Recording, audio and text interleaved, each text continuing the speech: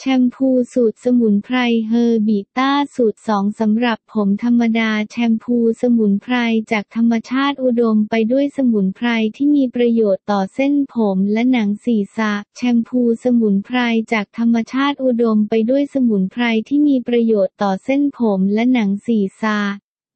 มีสามสูตรเพื่อสามสภาพเส้นผมสารสกัดจากดอกอัญชันช่วยให้ผมดกดำเป็นเงางาม พร้อมโพลีกวาเทอร์เนียม และมอยเจอไรเซอร์ ช่วยรักษาความชุ่มชื่นของเส้นผม ให้ผมแข็งแรงและมีสุขภาพดี